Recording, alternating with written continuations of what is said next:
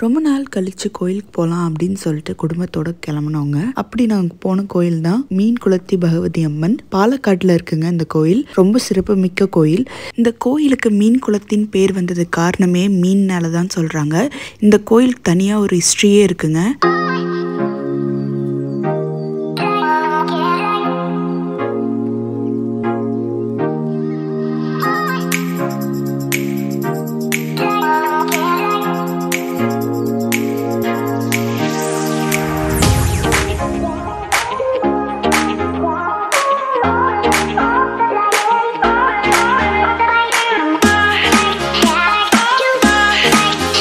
அந்த மீன் எல்லாம் பார்க்கும்போது நம்மளுக்கே அவ்வளோ ஆசையாக இருந்தது.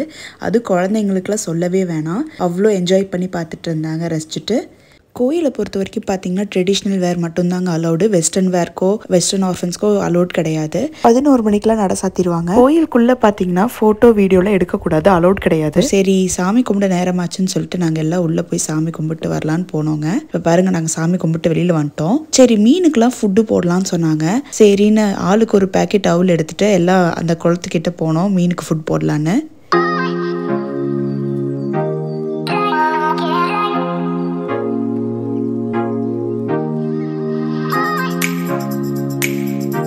என்னை விட என் பையன் தான் ரொம்ப ஆர்வமாக இருந்தாங்க. ஃபுட்டு போடலாம் ஃபிஷ்ஷுக்கு அப்படின்னு சொல்லிட்டு. ஸோ அதே மாதிரி நாங்கள் ரெண்டு பேரும் சேர்ந்து ஃபுட் போட்டோம். பாருங்களேன் எவ்வளோ வேகமாக அத்தனை ஃபிஷ்ஷும் வந்து எல்லாம் சாப்பிடுதுன்னு. பார்க்கவே ஆசையாக இருந்தது. பாருங்க.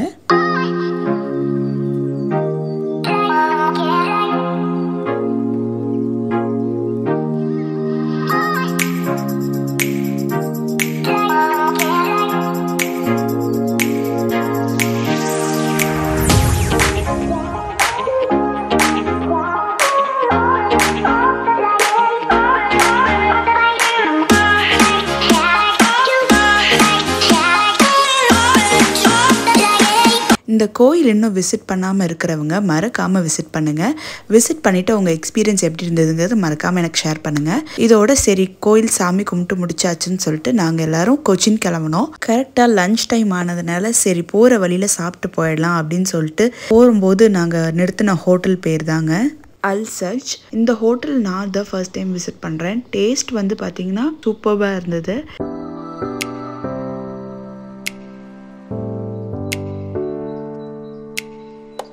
இப்போ பாருங்க நம்ம ஹோட்டலுக்கு வந்தாச்சு. வாங்க உள்ள போய் பார்ப்போம்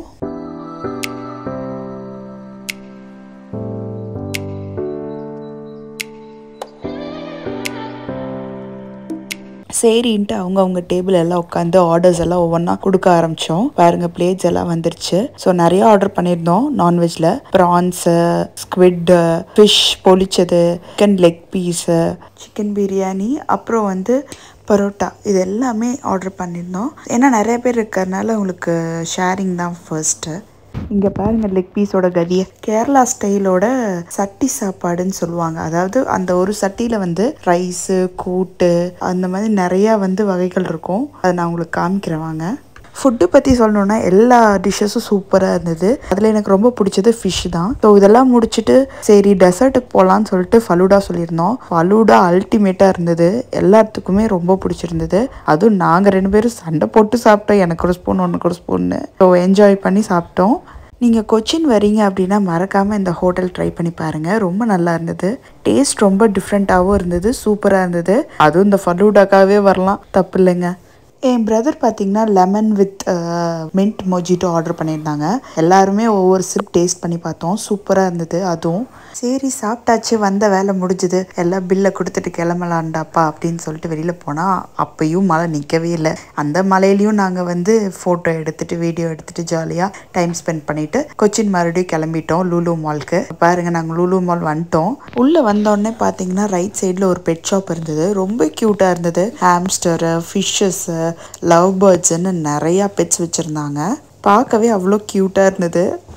சரின்னு சொல்லிட்டு நாங்கள் அங்கேருந்து ஃபர்ஸ்ட் ஃப்ளோர் போனோம். எல்லாம் என்னென்ன இருக்குன்னு பார்க்கலான்னு. இந்த மாலை சுற்றி பார்க்குறதுக்கே ஒரு நாள் ஆகும் போலங்க. ஏன்னா இந்த மால் அவ்வளோ பெரிய மால் ஆக்சுவலாக கொச்சினில். ஸோ சரின்னு சொல்லிட்டு அன்னைக்கு ஒரு ஸ்பெஷலான டேயும் கூட எங்கள் பிரதர் அண்ட் சிஸ்டரோட வெட்டிங் ஆனிவர்சரி அன்னைக்கு. ஸோ அதுக்காக எங்கள் பிரதர் வந்து எங்கள் சிஸ்டருக்காக ஒரு கோல்ட் ரிங் ஒன்று வாங்கி தரலாம் அப்படின்னு சொல்லிட்டு பிளான் பண்ணி மலபார் ஷாப்க்கு போனோம் நாங்கள் சரின்னு சொல்லிட்டு ரிங் பர்ச்சேஸ் பண்ணிட்டு வரலாம் அப்படின்னு சொல்லிட்டு உள்ளே போய் பார்த்துட்டு இருந்தோம். இப்போ பாருங்க நாங்கள் ரிங் பர்ச்சேஸ் பண்ணிட்டு வெளியில் வந்தாச்சு. வெளியில் வந்ததோட விடலை நாங்கள் நீங்கள் அங்கேயே போட்டாகணும்னு சொல்லிட்டு நாங்கள் அடம் பிடிச்சி அக்காவுக்கு வந்து ரிங் போட்டு விட்டாரு. அது ரொம்ப க்யூட்டாக இருந்தது. அவர் போட்டு விட்டது. அக்கா வந்து ரொம்ப ஹாப்பியாக ஃபீல் பண்ணாங்க.